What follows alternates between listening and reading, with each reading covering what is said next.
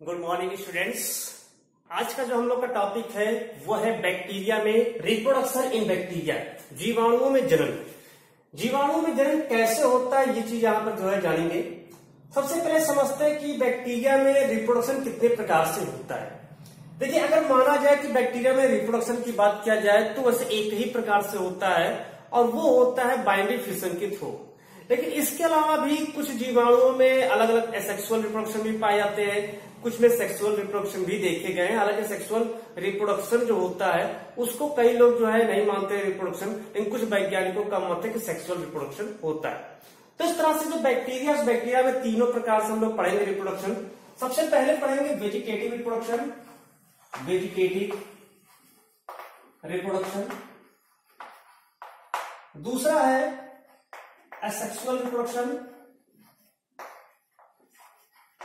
और तीसरा होता है सेक्सुअल रिप्रोडक्शन वेजिटेटिव रिप्रोडक्शन की अगर हम लोग बात करें तो इसमें सबसे जो मेन आता है, सबसे इंपॉर्टेंट होता है यह होता है बाई बाइंड्री फिशन बाइंड्री फिशन द्विविभाजन द्वारा।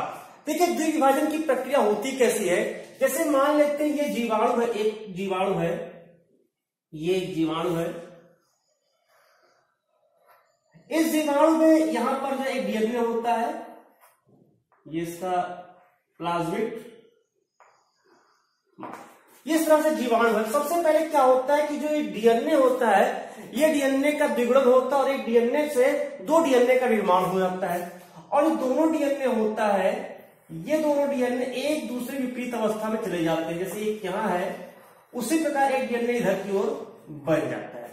फिर धीरे धीरे इसकी लंबाई में वृद्धि होती है। यह लंबाई में बढ़ता है। इस तरह से। और लंबाई बढ़ने के साथ साथ इसके बीच में कुछ ग्रुप बनना शुरू हो जाता है। इसके बीच में एक ग्रुप बनना, ट्रांसवर्स डिवीज़न बनना शुरू हो जाता है। और ये जो है, यहाँ पर जो है धीरे धीरे इस तरह से जो है बढ़ जाता है धीरे धीरे अनुपस्थ खाद जो है, काफ़ी जो है गहरा होते होते फिर एक तरह एक समय ऐसा आता है कि बढ़ जाता है और ये जहाँ पर जो है, दो जीवाणुओं में विभाजित हो जाता है। इस प्रकार से सामान्य सी प्रक्रिया होती है कि जिसमें जो है जो जीवाणु होता है, वो जीवाणु एक विभाजन के द्वारा जो है, लगातार एक पहले लंबाई बढ़ती है पहले उसका डीएनए मल्टीप्लीकेशन होता है। फिर लंबाई वृद्धि करती है, उसका एक ग्रुप बनता है, वो ग्रुप ट्रांसफर्स डिवीज़न होता है। इसके पश्चात जो है, फिर धीरे धीरे एक खांच बन करके वो दोनों वहाँ पर एक जैसे कोशिका भित्ति का निर्माण होता है। दोनों जीवाणु अलग हो जाते हैं एक तरह से एक जीवाणु से दो जीवाणु बनते अगर अनुकूल परिस्थिति दिया जाए, एक एडेप्टिव जो है कंडीशन दिया जाए तो उसमें लगभग 20 मिनट में एक जीवाणु जो होता है, वो दो जीवाणु में परिवर्तित हो जाता है। तो इस तरह से जो वेजिटेटिव रिप्रोडक्शन है, उस पर पहला बाई बाइंड्री फिशन रहता है। दूसरा जो एसेक्सुअल रिप्रोडक्शन होता है, देखिए एसेक्सुअल रिप्रोडक्शन की बात करें तो यहाँ पर कुछ वैज्ञानिकों का मत है कि एसेक्सुअल रिप्रोडक्शन कोई रिप्रोडक्शन नहीं है, बल्कि यह जो जीवाणुओं का एक सुरक्षात्मक आवरण का काम करता है। सुरक्षात्मक जो है कवरिंग बनाने का काम करता है एसेक्सुअल रिप्रोडक्शन और इसमें सबसे मेन इंपॉर्टेंट जो होता है, वो होता है बाई एंडोस्पोर बाई एंडोस्पोर अंत बीजाणु के द्वारा। देखिए अंत बीजाणु होता क्या है? देखिए, इसको क्यों नहीं माना जाता है कि जीवाणु से जीवाणु, ये जो है, क्या नाम है रिप्रोडक्शन क्योंकि यहाँ एक जीवाणु से एक ही जीवाणु बनेगा। एक जीवाणु से एक ही जीवाणु बनेगा, इसलिए इसको नहीं माना जाता। जो एंडोस्पोर होता है, ये जो बैसिलस होते हैं, जितनी बैसिलस बैक्टीरिया है एंड क्लॉस्ट्रीडियम बैसिलस और क्लास्ट्रीडियम जो बैक्टीरिया होते हैं, इनकी सभी जातियों में, चाहे बैसिलस और ये क्लास्ट्रीडियम की जो सभी जातियाँ जीवाणु की होती हैं, उसमें बाई एंडोस्पोर रिप्रोडक्शन की प्रक्रिया होती है। क्या होता है? एंडोस्पोर क्या होता है? अंतर बीजाणु इसको देखेंगे। जैसे मान लेते ये एक बैक्टीरिया है। ये बैक्टीरिया है। ठीक? ये इसका डीएनए है। सबसे पहले क्या होता है डीएनए होता है इस डीएनए जिसको हम लोग न्यूक्लियाइड एरिया कहते हैं। जहाँ पर डीएनए पाया जाता है, उस रीजन को हम लोग कहते हैं न्यूक्लियाइड एरिया। और ये होता है डीएनए सबसे पहले क्या होता है जो डीएनए होते हैं, डीएनए एक से दो बन जाता है। एक से दो डीएनए बन गए। एक यहाँ एक यहाँ। अब ये जो डीएनए बनता है, ये इसके एक साइड में जा सकता है, किनारे पर हो सकता है या बीच में कहीं पर आ सकता है। जो एंडोस्पोर बनेगा, यानी कि एक ही डीएनए इसमें सक्रिय होगा, एक डीएनए सक्रिय नहीं होगा। तो इसमें सबसे पहले जो, मान लेते ये एंडोस्पोर बनेगा तो इसका जितना भी जीव द्रव्य होगा पूरा जीव द्रव्य भरा ये जीव द्रव्य आकर के यहाँ पर इसका जो है और संकुचित हो जाता है। मतलब जीव द्रव्य आ करके जो है संकुचित होकर के केवल उसी डीएनए के चारों ओर से घेर लेता है, और ये यहाँ पर ये जीव द्रव्य भर गया। अब ये जो होता है, ये प्लाज्मा मेम्ब्रेन हो गया। Plasma membrane. और इसके अंदर पूरा जीव द्रव्य यानी प्रोटोप्लाज्म, भरा। जिसे हम लोग साइटोप्लाज्म भी कह सकते हैं साइटोप्लाज्म भी कह सकते हैं। अब चूँकि ये डीएनए है इसके ऊपर एक और आवरण बनता है, जैसे ही आकर के ये कवर करता है, उस डीएनए को जितने भी इसके प्रोटोप्लाज्म है और ये प्लाज्मा मेम्ब्रेन है, जैसे उस डीएनए को कवर करता है, इसके ऊपर एक और आवरण बन जाता है यहाँ पर। एक और आवरण बन जाता है। और इस आवरण को कहते हैं कोर। इस आवरण को कहते हैं कोर। ठीक है? इसको डाल देते इस आवरण को कहते हैं कोर। इसमें सबसे यूनिक चीज़ ये होता है कि जो कोर होता है, ये जो है डाई पीकोलिनिक एसिड और प्लस कैल्शियम आयन से मिलकर के बना होता है। जो कोर होता है, वो डाइपिकोलिनिक एसिड और कैल्शियम आयन से मिलकर के बना होता है। थोड़ा और बड़ा कर दे ठीक है ये इसके बाद जो कोर होता है, इस कोर के चारों ओर, जैसे ये कोर जो होता है, इस कोर के अब तुरंत चारों ओर जो है, इसको हम लोग सलवार भी कह सकते हैं। कोर यानी सलवार भी इसको जो है कह सकते हैं। इसके चारों ओर एक और घेरा यहाँ पर बनता है। एक और घेरा यहाँ पर बनता है, जिसको कहते हैं एक्जोप्लास्ट ये एक्जोप्लास्ट जो होता है वो पतली भित्ति वाली होती है और काफ़ी कोमल होती है। पतली भित्ति वाली कोमल होती है, जबकि जो कोर होता है, ये काफ़ी कठोर और मोटी भित्ति वाली ध्यान रहे, कोर काफ़ी कठोर और मोटी भित्ति वाली होती है, जबकि जो एक्जोप्लाज्म होता है, वो काफ़ी पतली भित्ति वाली होती है।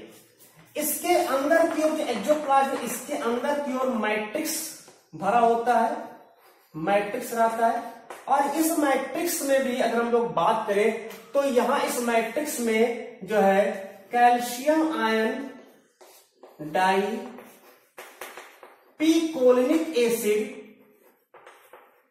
colinic acid peptidoglycans का मिश्रण यहाँ पर पाया जाता है। पेप्टिडोग्लाइकांस का मिश्रण पाया जाता है और यह मिश्रण इसके अतिरिक्त और किसी भी जीव में नहीं पाया केवल जीवाणु में पाया जाता है। Calcium ion di dipicolinic acid peptidoglycans का जो मिश्रण होता है, इसके मैट्रिक्स में भरा होता है। अब इसके बाद ये जो कोर होता है अगर कोर की बात करें तो कोर इसको तापरोधी बनाने का कार्य करता है क्योंकि ये अनफेवरेबल कंडीशन में बनता है। ये फेवरेबल कंडीशन में नहीं बनता है। ये जो एंडोस्पोर होता है ये अनफेवरेबल कंडीशन में बनता है।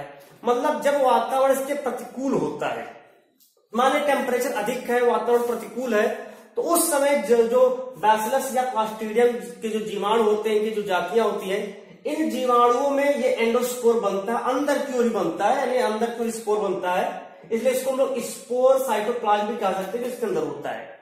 ये बनता है, उसके बाद जब वो फेवरेबल कंडीशन आता है मतलब जब टेम्परेचर नॉर्मल हुआ, फिर इसकी भित्ति नष्ट करके ये मुक्त हो जाता है, और इस तरह से एक जीवाणु से एक ही जीवाणु का निर्माण हो जाता है।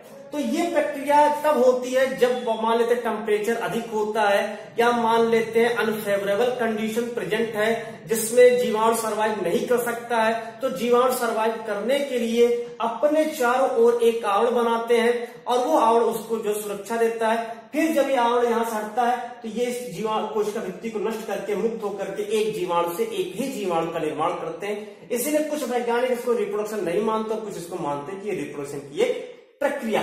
तो ये असेक्सुअल रिप्रोडक्शन की प्रक्रिया में बाई एंडोस्पोर रहता है।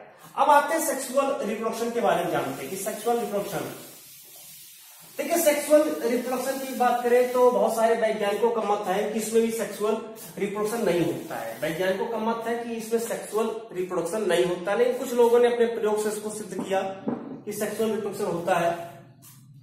तो सेक्सुअल रिप्रोडक्शन की अगर हम बात करें यहाँ पर जो है सेक्सुअल रिप्रोडक्शन की तो तीन प्रकार से बताए गए है। सेक्सुअल रिप्रोडक्शन की प्रक्रिया तीन प्रकार से बताई गई है। पहला इसमें है, जो है ट्रांसफॉर्मेशन ट्रांसफॉर्मेशन दूसरा है ट्रांसडक्शन ट्रांसडक्शन और थर्ड होता है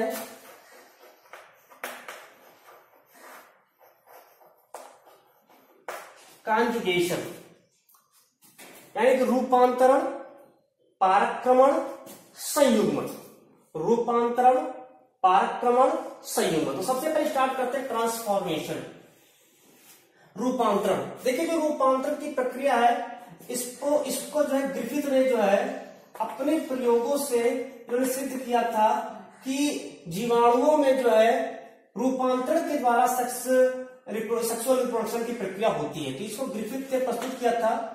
और ग्रिफिथ ने अपना जो प्रयोग है, उस प्रयोग के लिए उन्होंने जो बैक्टीरिया का चयन किए थे, वो था diplococcus न्यूमोनाइन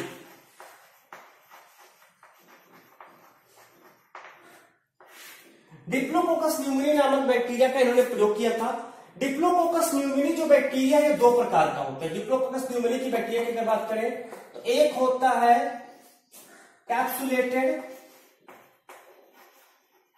capsulated S type bacteria और एक होता है non capsulated R type bacteria देखिए पहले बता चुके जब स्ट्रक्चर ऑफ़ बैक्टीरिया पढ़ा रहे थे तो मैंने बताया था समझाए थे कि जो कैप्सुलेटेड होता है, अगर जिस बैक्टीरिया के चारों ओर एक कैप्सूल का पाया रहा है तो वो उसके सुरक्षात्मक आवरण का कार्य करेगा, जब किसी शरीर में प्रवेश करता है। जैसे किसी होस्ट में प्रवेश करेगा, मान लेते ये होस्ट को इन्फेक्ट करेगा तो जो होस्ट की एंटीबॉडीज है वो उसको नष्ट नहीं कर पाएगी, और होस्ट की होस्ट में रोग हो जाएगा, और रोग के कारण जो है होस्ट की मृत्यु भी हो सकती है। जबकि नॉन कैप्सुलेटेड वाला क्या है कि जैसे ही होस्ट में इंटर करेगा तो होस्ट में उपस्थित एंटीबॉडी उसको नष्ट कर देगी और होस्ट जो है, वो ज़िंदा रहेगा। ये यहाँ पर प्रक्रिया होती है। तो इन्होंने अपने प्रयोग के लिए चूहों पर अपना पूरा प्रयोग किया था। इनका जो एक्सपेरिमेंट हुआ था, ये एक्सपेरिमेंट अपना जो है, चूहों पर किए थे। ठीक है? चूहों पर अपना प्रयोग किए थे। इन्होंने क्या किया? चूहों के चार समूह बना लिए। इन्होंने क्या किया? चूहों के चार समूह बना लिए। एक, दो, तीन, चार। इसमें क्या ले लिया? बहुत सारे चूहों के समूह ले लिए। बहुत सारे चूहे ले लिए। सभी में चार ग्रुप में डिवाइड कर दिया। अब यहाँ पर जो पहला इसमें है, ये first second third and fourth जो पहला वाला इसमें इन्होंने क्या किया? इस कैप्सुलेटेड एस्टाइब बैक्टीरिया जो कैप्सुलेटेड एस्टाइब बैक्टीरिया है कैप्सुलेटेड एस्टाइब बैक्टीरिया इसको इन इन चूहों के शरीर में इंजेक्ट कराया गया। इन चूहों के शरीर में कैप्सुलेटेड एस्टाइप बैक्टीरिया इंजेक्ट कराया गया। जैसे कैप्सुलेटेड एस्टाइप बैक्टीरिया इसके शरीर पहुँचता है तो इसकी एंटीबॉडी इसको नष्ट करने का प्रयास करती है, लेकिन नष्ट नहीं कर पाती। क्यों? क्योंकि जीवाणु के ऊपर कैप्सूल का एक कावड़ पाया रहा है। अतः इस कंडीशन में क्या होगा? चूहा है, वो चूहे की डेथ हो जाए ये चूहे की जो समूह है, वो मर जाते हैं। दूसरे समूह में इन्होंने क्या किया? यहाँ पर जो है, यही कैप्सुलेटेड एस्टाइल बैक्टीरिया को। इन्होंने हीट किल्ड कर दिया, काफ़ी उच्च तापक्रम पर उसको नष्ट कर दिया, केवल उसका जीनोम बचा। उसके जो बाहर के आवरण थे सब नष्ट हो गए, केवल जीनोम बचा। मीन्स यहाँ पर दूसरे ने क्या किया? हीट किल्ड ठीक है, उच्च तापक्रम पर जो उसको मृत कर दिया गया heat killed capsulate heat killed S type bacteria इसमें जो इंजेक्ट करा है तो यहाँ पर क्या है? हीट किल्ड होने के कारण उच्च तापक्रम पर जो है एस बैक्टीरिया है। तो इसका जो कैप्सूल था वो भी नष्ट हो गया, केवल जीनोम है। अतः जीनोम जा करके जैसे पहुंचेगा तो चूहे का जो एंटीबॉडी उसको नष्ट कर देगा। मतलब इस कंडीशन में चूहा जो है, वो ज़िंदा रहेगा। क्यों? क्योंकि इसके पास सुरक्षात्मक आवरण इसके पास बैक्टीरिया के पास नहीं है। तीसरे में क्या दिया? तीसरे में ये वाला non capsulated non capsulated R type bacteria दिया गया इसको देने पर अब ऑलरेडी पहले बताया कि जब होस्ट में प्रवेश कराया जाता है तो होस्ट की एंटीबॉडी इसको नष्ट कर देती है, क्योंकि इसके ऊपर कोई सुरक्षात्मक आवरण नहीं है। मतलब जो होस्ट है, वो पूरी तरह से जीवित रहेगा। ज़िंदा रहेगा। चौथे में इन्होंने क्या किया? इन दोनों का मिश्रण दे दिया। चौथे में इन दोनों का मिश्रण दे दिया। Heat killed heat killed S type plus non capsulated non capsulated R type वाले चूहों को जो है, वाले जो है बैक्टीरिया को इसमें इंजेक्ट कराया गया। अब देखिए, यहाँ पर एक चीज़ ध्यान देना है कि हीट किल्ड जो है, इसका जीनोम तो जीवित है जीनोम है, बाकी शरीर के पार्ट और इससे यहाँ पर भी देखा कि जो जीनोम होता है, उस जीनोम में आनुवांशिक लक्षण होते हैं। अगर वो कैप्सूल बना रहा है, अगर वो कैप्सूल बना रहा है, इसका मतलब उसके पास कैप्सूल बनाने का जीनोम है। अगर वो कैप्सूल बना रहा है, इसका मतलब उसके पास कैप्सूल बनाने वाला जीनोम है, यानी जीन्स प्रेजेंट है। तो ये यहाँ पर क्या इसके पास तो जीन है, लेकिन अभी तो ये फ़िलहाल इस कंडीशन में इसके पास नहीं है कैप्सूल तो मर गया था ये और चूहा ज़िंदा था। लेकिन यहाँ पर दोनों को एक साथ संवर्धन माध्यम में लेकर के एक साथ चूहे में इंजेक्ट कराया गया। तो यहाँ पर देखा गया चूहे की डेथ हो गई। जबकि इन दोनों कंडीशन में चूहा जीवित है। इन दोनों कंडीशन में चूहा जीवित है, लेकिन इन दोनों का संवर्धन कर दिया गया चूहा की मृत्यु हो गई। तब उन्होंने क्या देखा? ग्रिफिथ ने क्या जब देखा तो बड़ा आश्चर्य की कैसे मृत्यु हो गई। तो इन्होंने उसका जो है, जब डिफेक्शन किया, देखे डिसेक्शन करके तो उसको उन्होंने देखा कि डिसेक्शन वाले में कि चूहा इस चूहे में जो है capsulated capsulated S type bacteria उत्पन्न हो गए थे। कैप्सुलेटेड एस टाइप बैक्टीरिया उत्पन्न हो गए थे। अतः यहाँ पर इन्होंने सिद्ध किया कि जो जीनोम वो, बैक्टीरिया बैक्टीरिया का ऊपरी आवरण बढ़ सकता है उसका जो जीनोम है, उसमें जो जीनोम में उपस्थित जीन है, वो जीन जो कैप्सूल बना सकता है, वो जीवित है, और जैसे ही उसको एक उपयुक्त माध्यम मिला, यानी ये माध्यम मिला, उसका साइटोप्लाज्म मिला जिसे अपने लक्षणों को अभिव्यक्ति कर दिया, अपने लक्षण को प्रकट किया, और इस प्रकार से एक नए प्रकार का जो है, जो जीवाणु उसकी उत्पत्ति हो जाती है। तो इस प्रकार एक नए प्रकार के जीवाणु की उत्पत्ति हुई, इसलिए इसको सेक्सुअल रिप्रोडक्शन कहते हैं। लेकिन ध्यान रहे, ये ट्वेल्थ में भी बड़ा इंपॉर्टेंट टॉपिक आएगा, क्योंकि वहाँ रहता है एक क्वेश्चन बड़ा लॉन्ग क्वेश्चन है कि सिद्ध कीजिए कि डीएनए का अनुवांशिक पदार्थ है तो यहाँ से सिद्ध हो रहा है कि अनुवांशिक पदार्थ नष्ट नहीं होता वो अनुवांशिक पदार्थ जो है, वो अगली पीढ़ी में प्रसारित होता है, अतः यहाँ सिद्ध होता है कि डीएनए एक अनुवांशिक पदार्थ है। तो ये पहला टॉपिक था इस ट्रांसफॉर्मेशन यानी कि जो सेक्सुअल रिप्रोडक्शन का पहला टॉपिक ट्रांसफॉर्मेशन अब आते हैं ट्रांसडक्शन पर। अब बात करते हैं ट्रांसडक्शन की। पारक्रमण। पारक्रमण। ट्रांसडक्शन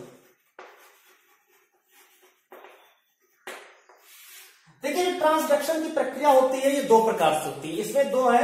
एक होता है रिस्ट्रिक्टेड ट्रांसडक्शन और दूसरा होता है जनरल ट्रांसडक्शन देखिए, कुछ अलग नहीं है, बहुत ज़्यादा अंतर नहीं है, लेकिन समझ क्या होता है रिस्ट्रिक्टेड ट्रांसडक्शन और जनरल ट्रांसडक्शन ट्रांसडक्शन की प्रक्रिया में जिसका उपयोग किया जाता है वह बैक्टीरियोफेज बैक्टीरियोफेज जो कि एक वायरस है बैक्टीरियोफेज एक वायरस है, जो कि जीवाणुओं का भक्षण करता है जीवाणु को लाइसेंस करता है बैक्टीरियो भी इसको कह सकते हैं। तो ये बैक्टीरिया को लाइसेंस करने वाला एक विषाणु होता है बैक्टीरियोफेज। अगर ये बैक्टीरियोफेज जब किसी बैक्टीरिया में इंजेक्ट करता है, यानी इंजेक्ट होता है किसी बैक्टीरिया में, अगर वो उसके कोई विशेष विशिष्ट प्रकार के जीन को ही केवल वह जो है ट्रांसफ़र करा रहा हो दूसरे जीवाणु में, तब वो रिस्ट्रिक्टेड है। और अगर इस बैक्टीरिया में प्रवेश करने के बाद उसके किसी भी जीन का उसके किसी भी जीन को जो है स्थानांतरण करा रहा हो तो उसको जनरल ट्रांजेक्शन कहते हैं। क्या होता है? कैसे तो देखेंगे? से मान लेते हैं यह बैक्टीरिया है। ये बैक्टीरिया है। ये इसका डीएनए है। तो जब बैक्टीरियो फ़ेज़ आता है, इस तरह से स्ट्रक्चर होता है इसका टेडपोल लाइक इसके छह फिलामेंट होते हैं, वो एक नीडल की भांति इसमें होते हैं। और ये अपने जीनोम को इसमें इंजेक्ट करा देता है। बैक्टीरियो फ़ेज़ वायरस जो है ये अपना जीनोम इसमें इंजेक्ट करा दिया। ये जीनोम जा करके इसमें इसके साथ समाकलित होता है फिर अपनी संख्या जैसे इसके साथ समाकलित होता है, मान लीजिए बैक्टीरिया का डीएनए है। ये जाकर के वायरस का डीएनए से जुड़ गया। अब जितनी बार डिवीज़न होगा, उतनी बार वायरस के भी जीनोम का डिवीज़न होगा। इस तरह से वायरस में कुछ बैक्टीरिया के जीन भी जो है ट्रांसफ़र हो जाएँगे। अब इसकी संख्या बहुत सारे बढ़ा लेगा। मान लेते ये इस तरह से संख्या अपनी जो है, बहुत सारा बढ़ा लिया। इस तरह से। तो ये इसको नष्ट करता है और उसका नष्ट होने के बाद ये जितने भी वायरस है इन सारे वायरस के पास इस बैक्टीरिया का भी जीनोम के जो जीन है, लक्षण है, वो आ गए। अब यदि किसी दूसरे बैक्टीरिया को जाकर के इंजेक्ट करेगा तो इसके लक्षण दूसरे बैक्टीरिया में प्रवेश कर जाते हैं और उसके लक्षण परिवर्तित हो जाते हैं। दूसरा जो बैक्टीरिया उसके लक्षण परिवर्तित हो जाते हैं। इसी कहते हैं पारक्रमण। यह भी कुछ जो है जैसे कि लेडरबर्ग ने इसको भी जो है, एल लेडरबर्ग ने इसको भी माना था कि यह जो है सेक्सुअल रिप्रोडक्शन की प्रक्रिया है। इसके अलावा यह भी सिद्ध होता है कि डीएनए एक आनुवांशिक पदार्थ है क्योंकि इसका जो जीनोम है, वो जीनोम की जो जीन है, वो नष्ट नहीं हुए, आनुवांशिक लक्षण नष्ट नहीं हुए, जो अगली बैक्टीरिया में प्रवेश कर गया। इस तरह से इसको भी सिद्ध कर सकते हैं। तीसरा जो होता है वो कॉन्जुगेशन है। तीसरा कॉन्जुगेशन इसको जो है जोशुआ लेडरबर्ग ने जो है दिया था। इन्होंने क्या बताया कि जब कहीं कोई दो बैक्टीरिया ये बैक्टीरिया इसका जीनो ये इसका प्लाटलेट एक बैक्टीरिया और ये दो बैक्टीरिया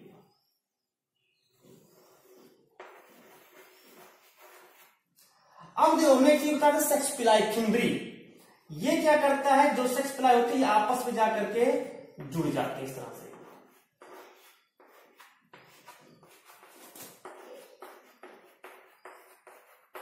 जिसमें प्लाज्मिड प्रेजेंट होता है, उसको एफ़ पॉजिटिव जिसमें प्लाज्मिड नहीं पाया जाता, उसको एफ़ नेगेटिव कहते हैं। ये चिपकने के बाद क्या होता है? एक संयुग्म नलिका बना लेता है। ये चिपकने के बाद एक जो है संयुग्मन नलिका बना लेता है। अब इसमें चूँकि प्लाज्मिड हमने बताया था कि प्लाज्मिड में मल्टीप्लीकेशन करने की क्षमता होती है, अतः यह प्लाज्मिड एक से दो चार प्लाज्मिड बना करके कुछ प्लाज्मिड इसमें भी ट्रांसफ़र कर देता है। इस तरह से यह भी पॉजिटिव हो जाता है। तो इस प्रकार इसके लक्षण भी परिवर्तित हो गए, अतः यहाँ पर सेक्सुअल रिप्रोडक्शन की प्रक्रिया होती है। इसको हम लोग कॉन्जुगेशन ट्यूब कहते हैं। कॉन्जुगेशन ट्यूब कहा जाता है। तो इसके अलावा इसको एक चीज़ और कहते हैं कि सिद्ध कीजिए कि डीएनए एक आनुवांशिक पदार्थ है इसको भी यहाँ पर लिख सकते हैं, क्योंकि तो यहाँ पर लक्षण जो इसके परिवर्तित हो गए, ये एफ़ निगेटिव वाला भी एफ़ पॉजिटिव में परिवर्तित हो गया। तो ये यहाँ पर जो है बैक्टीरिया में रिप्रोडक्शन होता है वेजिटेटिव टाइप असेक्सुअल में एंड बायोलोस्पोर और सेक्सुअल में ये तीन प्रकार के जो है ट्रांसफॉर्मेशन ट्रांसडक्शन एंड कॉन्जुगेशन होता है। कुछ वैज्ञानिक इसको नहीं मानते रिप्रोडक्शन लेकिन फिर भी जो है, जब आता है तो जो है तो भी यहाँ पर इसको समझाना रहता है कि हाँ ये एक रिप्रोडक्शन सेक्सुअल रिप्रोडक्शन की एक प्रक्रिया होती है, क्योंकि यहाँ पर दो बैक्टीरिया के मध्य जो है आपस में किसी प्रकार से प्रत्यक्ष या अप्रत्यक्ष रूप से जो है, वहाँ पर संयुग्मन हो रहा है। आपस में जो है कॉन्जुगेशन हो रहा है, कुछ भी ये प्रक्रिया है फ्यूजन हो रहा है, इसलिए इसको कहते हैं सेक्सुअल रिप्रोडक्शन तो ये पूरा जो टॉपिक था, वो रिप्रोडक्शन इन बैक्टीरिया था. धन्यवाद.